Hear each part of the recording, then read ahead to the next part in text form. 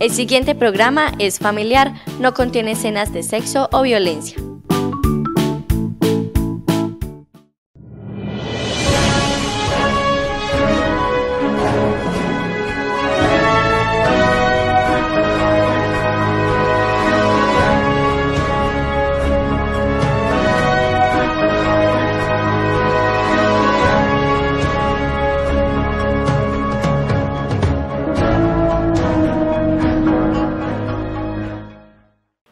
Buenas tardes, bienvenidos a esta nueva emisión del informativo Semana a Semana, el espacio de nosotros los jardineños. En esta emisión hablaremos de intervenciones, la nueva oferta académica de la Universidad de Antioquia y eventos educativo-ambientales. Los dejo con los titulares.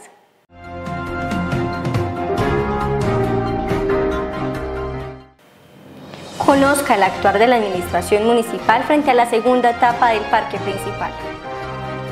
La Universidad de Antioquia publicó la oferta de programas para este segundo semestre de 2019. Más de 500 niños de nuestra localidad disfrutaron de la celebración del Día Mundial del Agua. Docentes de la Facultad de Artes de la Universidad de Antioquia replican técnicas de dibujo en la región. Y dentro del desarrollo cultural no se pierda la velada organizada por la Corporación Cultural de Jardín. Conozca con Valentina Osa la agenda y actividades para el adulto mayor y el disfrute del centro día.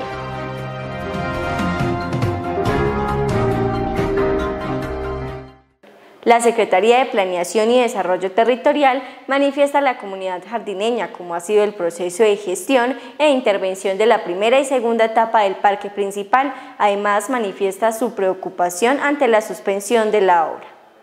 El proceso de mantenimiento de la sala de recibo de los jardineños y visitantes ha sido de constantes inquietudes por parte de la población, una ardua labor que manifiesta la comunidad y la Secretaría de Planeación por mantener este espacio al día con la legalidad y especificaciones de conservación patrimonial.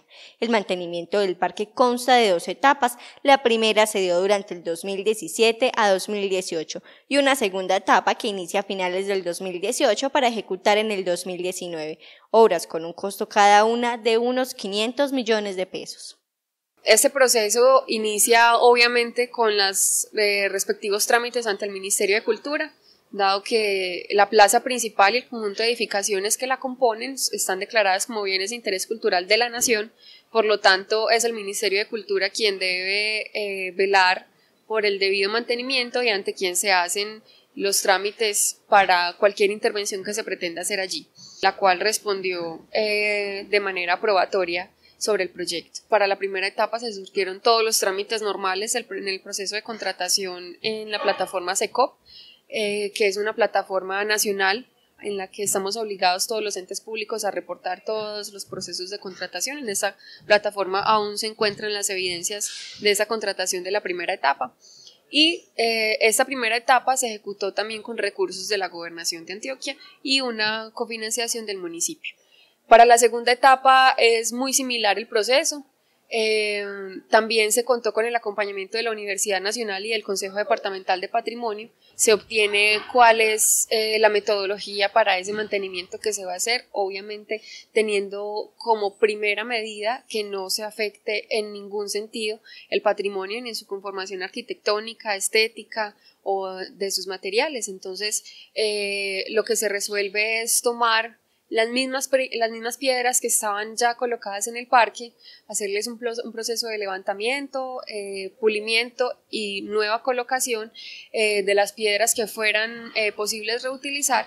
Y aquellas piezas que ya finalmente no pudieran ser aprovechables entonces se reemplazan con piedras de la misma cantera, la misma cantera que originalmente se utilizó para la construcción del parque, de la iglesia, del hospital, del puente pisano pero esta segunda etapa es tema de valoración y vigilancia de jardineños que representan la población desde la veeduría ciudadana, quienes consideran improcedente el proceso que se ha tenido en la primera etapa.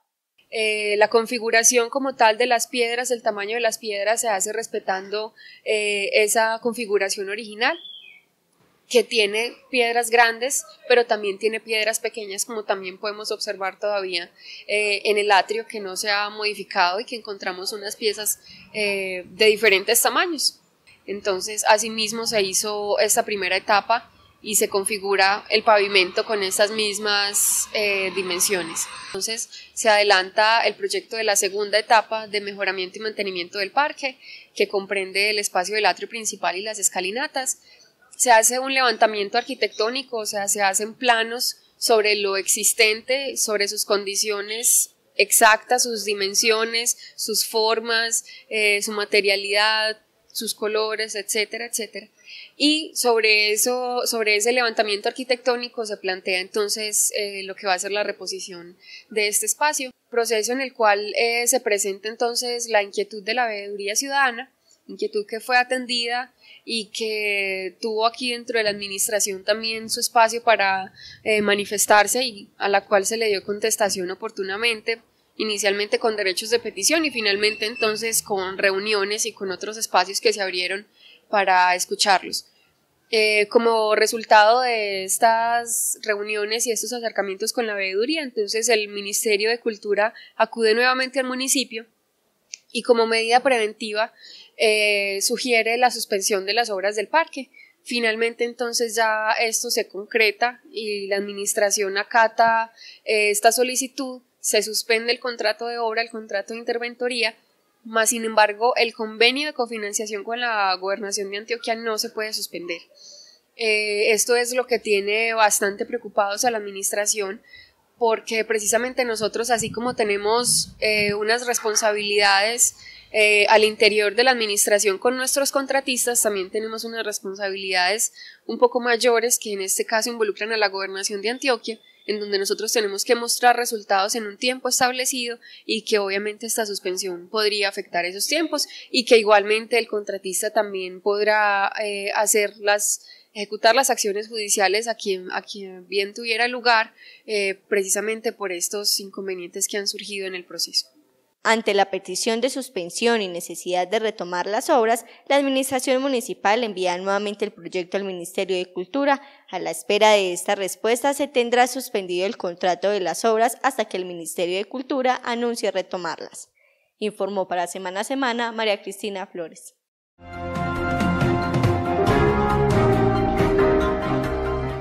La Universidad de Antioquia Seccional Suroeste ya publicó la oferta académica para el segundo semestre de 2019 y los invita a tener en cuenta que el pago para el derecho de inscripción es hasta el 22 de abril y se amplía el plazo para la inscripción hasta el 26 de abril. Del 18 de marzo al 22 de abril es el proceso de inscripción virtual para la Universidad de Antioquia, tiempo en el cual ha venido dando a conocer en el territorio la oferta académica para el segundo semestre de 2019. Entonces la oferta nuestra está fundamentada en tres programas, dos programas eh, de presencialidad los fines de semana y un programa en semana. Eh, básicamente está el de atención prehospitalaria en fin de semana junto con gestión cultural. Y en semana está la oferta para ingeniería agropecuaria. Fuera de esto tenemos la oferta de los programas virtuales, donde está el programa de, los programas de la Facultad de Ingeniería, que son básicamente Ingeniería de Telecomunicaciones, Ingeniería de Sistemas, Ingeniería Ambiental y Ingeniería Industrial. Y eh, adicionalmente, eh, la Facultad de Ciencias Agrarias ofrece gestión, en insumos agropecuarios, que también sería virtual y por ser tecnología tiene una duración menor. El precio de inscripción para programas de regiones es de 18.300 pesos y para programas en Medellín de 59.300 pesos. Los interesados en iniciar su formación en el alma mater deben tener en cuenta que todo el proceso de inscripción se debe realizar en línea ingresando al portal www.uda.edu.co. De ahora en adelante todo va a ser por internet, deben de eh, inscribirse para poder que se les genere la factura, ir, pagar y volver ya con el certificado de pago para terminar la inscripción como tal.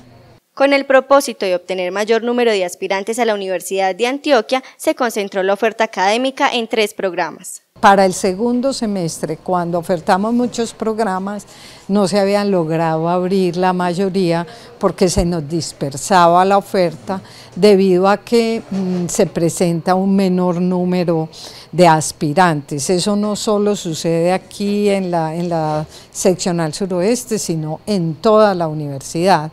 Entonces, por eso decidimos concentrar la oferta en tres programas para hacerle la fuerza respectiva a los tres. Pero para la próxima inscripción la oferta va a ser mucho mayor debido a que es donde tenemos las inscripciones en alto número. El examen de admisión se realizará el 4 de junio y los resultados se publicarán el 18 de junio. Los interesados podrán recibir mayor información en el número 841-7855, extensión 2820. Informó para Semana a Semana María Cristina Flores.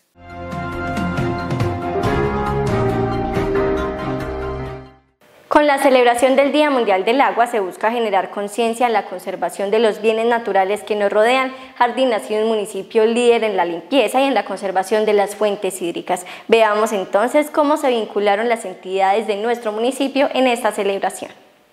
El 22 de marzo se celebra el Día Mundial del Agua. Por motivo de esta, diferentes grupos y entidades que buscan la conservación y la protección de esta fuente hídrica realizaron un día lleno de actividades lúdicas y recreativas para toda la comunidad jardineña.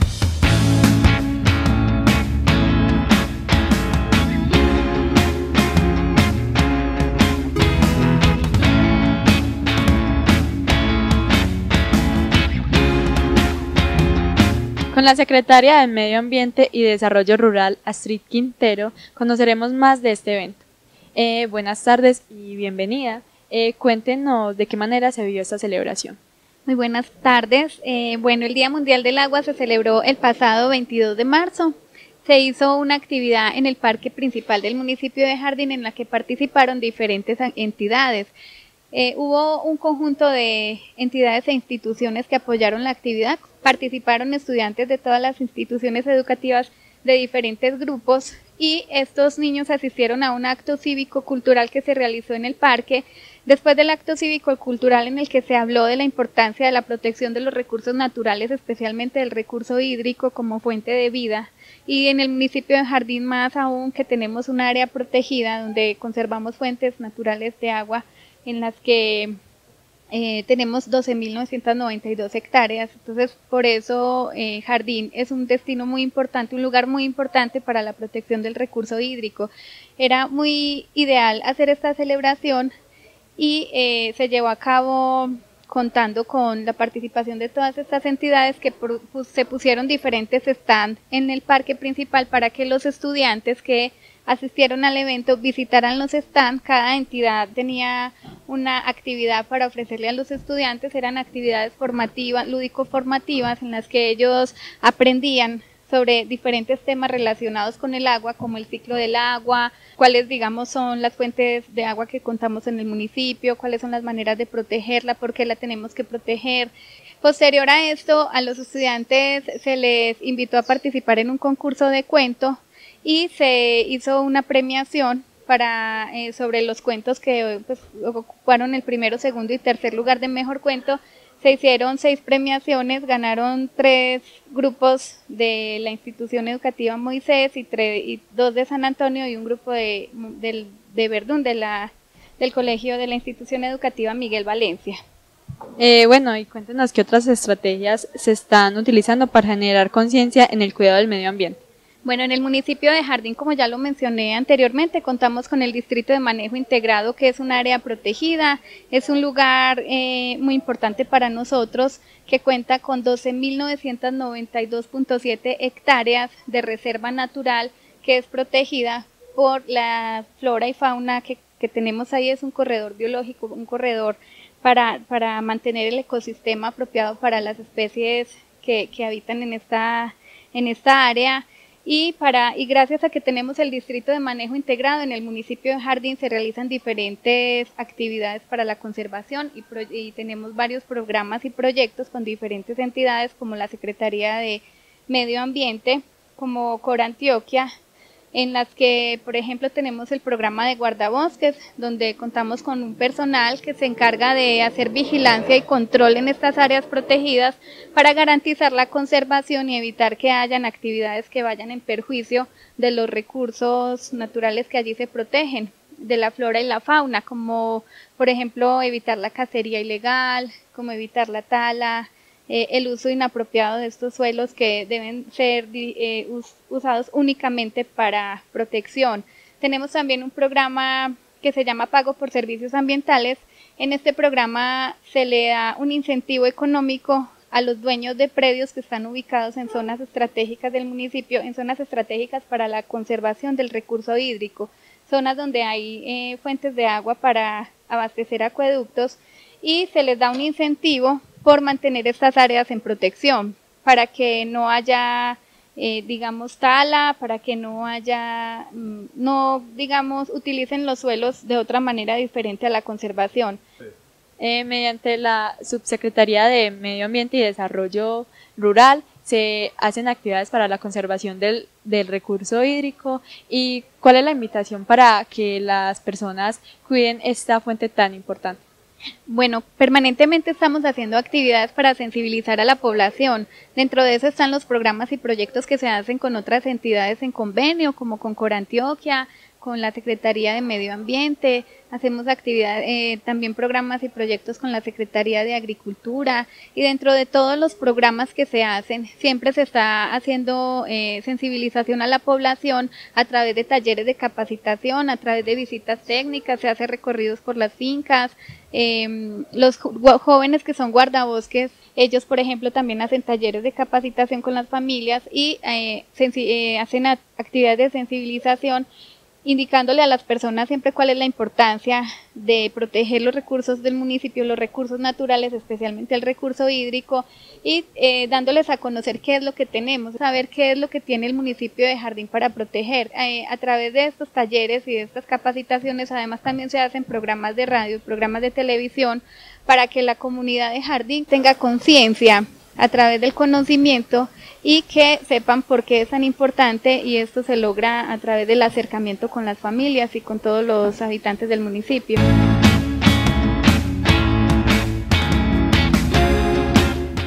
Es muy importante la conservación del medio ambiente y sobre todo el agua, informó para Semana a Semana Valentina Osa.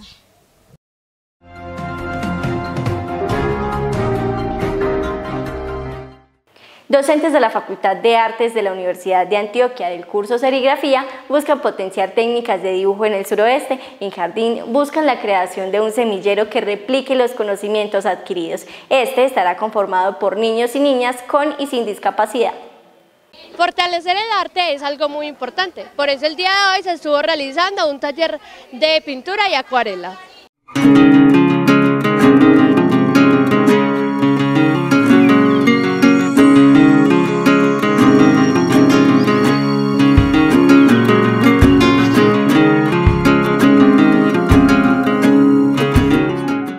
Acompaña Jorge Mario Villada, el profesor de la Facultad de Artes de la Universidad de Antioquia. Bienvenido. Cuéntenos eh, ustedes por qué deciden vincularse a esta actividad. Bueno, Salomé, eh, nosotros ya es la segunda oportunidad que vamos a trabajar con los chicos de Cultivarte. Vinimos en noviembre del año pasado eh, con el objetivo de de sensibilizar a los niños, eh, niños y formar un taller de un semillero de acuarelistas con el grupo de acuarelistas, taller de acuarelistas de los cursos de extensión de la Facultad de Artes. Aparte de la técnica de acuarela, ¿qué otras técnicas le están enseñando a los chicos? Bueno, hoy nos acompaña un grupo de cinco estudiantes de la Facultad de Artes del taller de serigrafía porque ellos eh, montaron una exposición ayer en la sede de Andes, una exposición de serigrafías. Ellos hicieron una lectura de la región con temas de urbanos, de la fauna, de la flora de la región. Bueno, y ellos están acá también participando en el taller de, de formación con los, las personas de distintas capacidades. Pensamos continuar con ellos el proceso hasta hasta que Dios lo permita. Seguramente tendremos otros niveles y otras técnicas. Es posible que algunos eh, estudiantes o profesores de la facultad se unan a este proyecto y seguir multiplicando las artes por las regiones.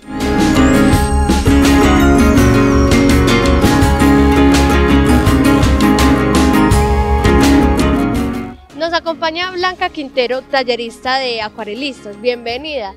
Eh, cuéntenos cómo le ha parecido la experiencia trabajando con estos chicos. Eh, mira, la experiencia ha sido maravillosa. Nosotros tuvimos en la mañana de hoy dos grupos.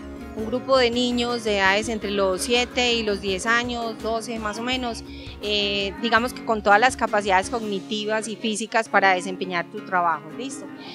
El trabajo con los niños es muy bacano porque es un trabajo creativo, eso sale como del espíritu, del alma, de lo que los niños quieren hacer y realmente eh, es muy bonito. La diferencia con estos niños que tienen un poquito de discapacidad es mucho más gratificante porque es sacar de ese interior de ellos que a veces se interiorizan mucho y se expresan poco, ¿cierto? Entonces es una cosa muy linda porque a través de manchas y de los colores ellos sacan todo su, su potencial y estamos aquí porque pensamos que siendo artistas tenemos una sensibilidad especial y además porque lo que uno sabe lo debe compartir. Mi nombre es Pablo Andrea Herrera Pertenezco a, a distintas discapacidades de edad, a danzas. En este momento me invitaron a un curso de pinturas. Estoy trabajando unos dibujos muy bonitos, eh, aprendí mucho, me gusta mucho la pintura. Ya saben ustedes, fortalecer el arte. Informó para Semana a Semana Salomé Ángel García.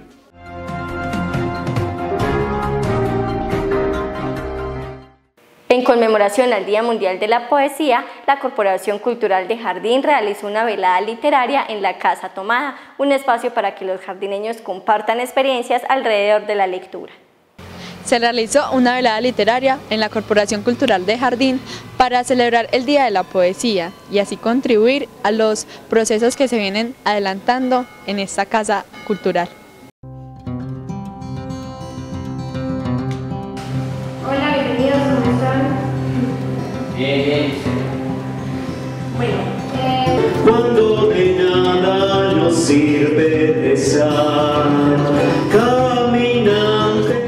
El Día de la Poesía y de la Lectura se realizó precisamente con, con motivo del Día de la Poesía que tiene mucho que ver con, con el equinoccio de, de, primavera, con la venida de la primavera pues en los países del norte, pero también queríamos aprovechar esa ocasión como una excusa para encontrarnos con la palabra, mirarnos a los ojos y congregarnos nuevamente en torno a valores tan bonitos como es escuchar una lectura bien hecha. Bueno, cuéntenos cómo fue la participación de la gente tanto extranjera como del mismo pueblo. Esa noche fue algo muy especial. Iniciamos eh, con una canción, luego las personas fueron animándose a, a leer poesías, composiciones propias. Eh, en, dentro de los autores que puedo resaltar estaba Constantino Cavafis, que fue bellamente leído, eh, también autores españoles. Eh, hubo una poesía en, francés, que fue algo bien, pues como bien bonito. Y, tuvimos pues la, la oportunidad de, de, deleitarnos y de revivir ese, como esa emoción de escucharnos mutuamente. ¿Qué otras actividades piensan hacer relacionadas con esta o qué otras actividades independientemente de que no sea de lectura? Bueno, eh, la, Casa Tomada, que es en este caso la sede de la Corporación Cultural, está proyectando hacer una exposición de arte religioso. En estos momentos está la exposición internacional de caricatura femenina y la muestra de arte de, realizada por los estudiantes de la institución Miguel Valencia. Pero en esencia es, la, la programación de la casa es, es invitar a las personas para que vengan, nos acompañen, Buenas tardes y cuéntenos cómo le pareció la experiencia de, de salir y leer un cuento en esta velada. Eh, buenas tardes, pues a mí me pareció muy agradable como dar a expresar mis gustos de literatura y obviamente me abrí mucho en el, en el sentido pues de, de, que las otras personas también contribuyeron con sus escritos. Entonces me pareció una vela muy agradable y es muy bueno que Jardín se esté dando estas cosas últimamente. Obviamente eso era lo que le hacía falta y pues invitar a la gente de Jardín que asista a estas cosas que estamos haciendo en la Casa Cultural. Bueno, y cuéntenos cómo le parece la idea de que se sigan haciendo estos eventos, estas actividades, que vengan las personas y participen de esto. Pues no, que bien, bienvenidos, pues la casa está abierta, las puertas están abiertas, hay, hay pintura, hay, hay teatro, hay muchas cosas para que vengan y conozcan, hay exposiciones y todo para que vengan y conozcan.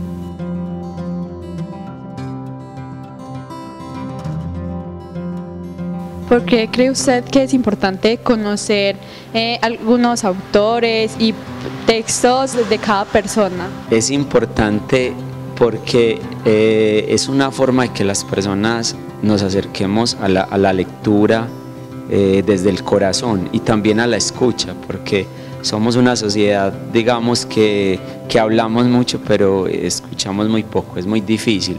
Entonces, en ese sentido, el ejercicio de escuchar una lectura pausada, eh, hace que, que, las personas seamos más personas, más humanos, más, más comunidad.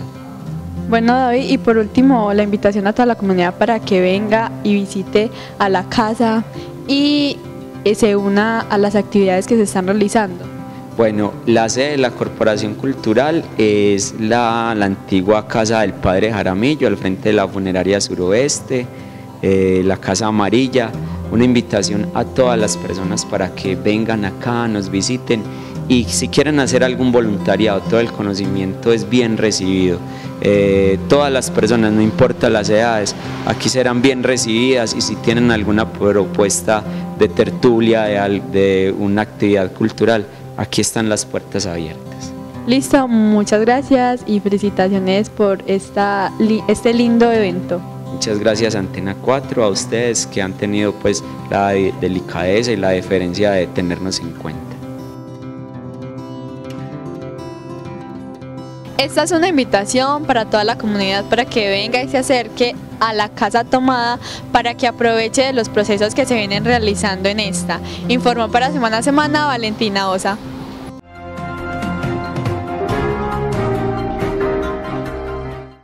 El equipo de gerontología de la Administración Municipal buscan crear espacios constantes para el desarrollo de una vejez digna y recreativa. Con Valentina Osa conoceremos cuál es la agenda y cómo ha sido el disfrute del Centro Día. El Centro de Desarrollo Vida está realizando nuevas actividades para el proceso que se viene haciendo con las personas adultas mayores. En la siguiente nota vamos a conocer cuáles son esas actividades y cómo beneficia al adulto mayor. Este año el programa adulto mayor genera un cambio, una transformación. Estamos en el año de renovar. Renovar desde el, la entrada con un equipo de trabajo nuevo, es un equipo interdisciplinario que tenemos un psicólogo, una socióloga, tenemos auxiliar de enfermería, tenemos un auxiliar de gerontología, auxiliar administrativa y un educador físico y mi persona que coordina el programa. Entonces al tener un equipo interdisciplinario muy amplio, se genera una gama de oportunidades para llevarlas al servicio de los adultos mayores. Y lo hemos dividido, enfocado por áreas. Tenemos un área cultural donde estamos generando procesos de formación. Eh, con alianza con la Corporación Escuela de Música. Hemos emprendido un proceso que retoma desde el año 2018, pero se le fortalece y es el coro. Y este año vamos a tener un espacio de musicoterapia que eh, busca básicamente a través de la música, la expresión corporal, las posturas adecuadas corporales, generar bienestar y sanidad. Y tenemos también la banda músico marcial, que inició el año pasado y en estos momentos tenemos casi un grupo de 60 adultos mayores que están entrenándose para debutar en las fiestas de la cultura que vamos a tener en el municipio. Entonces en la parte cultural nos hemos fortalecido este año. En la parte lúdica recreativa, eh, en abril inauguramos eh, lo que es el gimnasio mental. Es una apuesta donde los adultos mayores van y realizan ejercicios para estimular su mente, para mantener la salud mental. Y también tenemos un área nueva eh, con la chica auxiliar de gerontología, Marta Ligia, quien nos va a motivar todo un tiempo de ocio productivo estamos convocando para talleres de manualidades donde se comparten saberes, o sea, que saben los adultos mayores para enseñarles a otros adultos mayores con recuperación de material que hay en el medio de nuestras casas, lo transformamos, lo decoramos y hacemos cosas muy bonitas. Están las inscripciones abiertas para esa área. En la ocupación del tiempo libre eh, también enfocamos hacia el cine. Hoy precisamente iniciamos el cineforo para las personas adultas mayores boletería totalmente gratis en el auditorio de la Casa de la Cultura y cada mes vamos a tener una película de cinearte para los adultos mayores. Hemos emprendido también los encuentros culturales los viernes, donde varían, son los viernes culturales diversos, tenemos juegos de mesa, de salón, vamos a recuperar juegos tradicionales y vamos a generar un espacio de costurero. Encontramos el año pasado una población eh, con capacidades distintas o con distintas capacidades, pero que allí también identificamos que hay un promedio de 120 adultos mayores que requieren un acompañamiento y gracias pues a ese trabajo tan lindo del Comité de Gestión Social los identificamos y este año estamos iniciando una estrategia que se llama atención domiciliaria donde vamos a acompañar al adulto mayor a su familia y vamos a capacitar y a apoyar a los cuidadores. Entonces es una variedad de actividades en el portafolio que hemos entrado a incrementar este año. Bueno, y cuéntenos a cuántos adultos mayores estas actividades beneficias y cómo. Nosotros en este año mm, la línea de base que dejamos en diciembre a diciembre del 2018 quedó con 850 adultos mayores, activos desde 19 grupos rurales con cuatro grupos urbanos. hicimos una reestructuración en el tema de grupos urbanos y ya nos quedan cinco grupos y a nivel de veredas 19. Nuestra apuesta es incrementar cobertura porque vamos a las veredas donde no hay grupos y vamos a hacer convocatoria porque la meta es dejar al 100% cobertura rural, siempre y cuando las veredas sean receptivas a la propuesta de conformar su grupo alto mayor. Bueno, y los adultos mayores que estén interesados en participar en esas actividades, de ingresar al programa, ¿dónde deben de inscribirse? ¿Desde qué edad permiten que estén en estos grupos? Bueno, nosotros tenemos dos enfoques frente a la población. La población adulta mayor es la que es mayor de 60 años, según la Organización Mundial de la Salud. Pueden acercarse a nuestra oficina, estamos en la sede contigua al Teatro Municipal, mientras que hacemos apertura en nuestra sede nueva. Y allí nuestra auxiliar administrativa le muestra el portafolio de servicios y es selectivo. Quiere decir de que las personas pueden ingresar eh, totalmente nuevas y también conservamos pues las personas que vienen en el proceso de programa de años anteriores.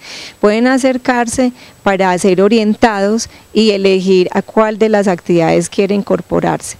Bueno, y por último, alguna invitación para que los adultos mayores vengan y se incluyan en esas actividades. Estamos invitando a hombres, mujeres mayores de 55 años que quieran conocer nuestras actividades, que quieran vincularse. Es totalmente gratis. La alcaldía, la administración municipal tiene una gratuidad en el programa para las personas mayores que se acerquen, que como es tan variada, digamos, la programación, pueden participar en lo que más les guste. Y también hago, Valentina, una invitación muy específica para los adultos mayores hombres.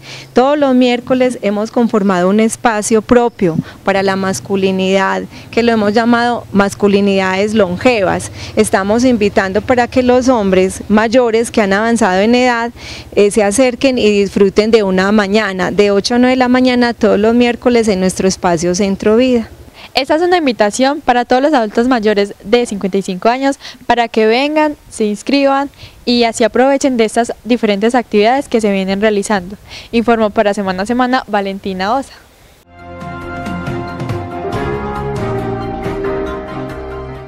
Y en la sección Tu canasta al día y el tip semanal, Steven Hernán Muñeto nos hablará del cultivo del maíz.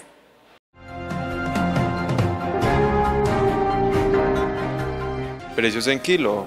Papa criolla 5 mil pesos, ha bajado. Cilantro 5 mil pesos, permanece estable. Mandarina 3 mil pesos, permanece estable. Sandía 1.200 pesos, permanece estable. Lentejas 2.900 pesos, permanecen estables. Arberjas 2.400 pesos, permanecen estables. Carne de res 18.000 pesos, permanece estable.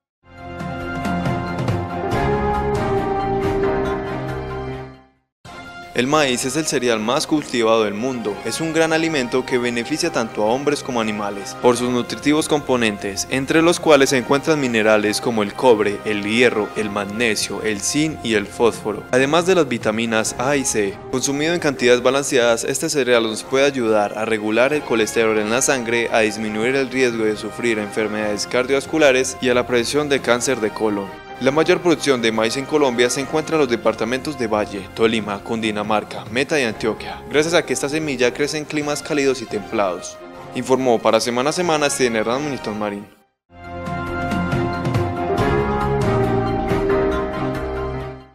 Y para terminar con este espacio informativo, les recordamos que pueden encontrar nuestros contenidos por la página oficial www.antena4jardín.com, en YouTube como Antena 4 Jardín y en Facebook como Antena 4 TV Comunitaria. Recuerden que esta es la televisión de los jardineños. Saludamos también a los radioescuchas de Radio Jardín 1600 AM. Nos vemos la próxima semana.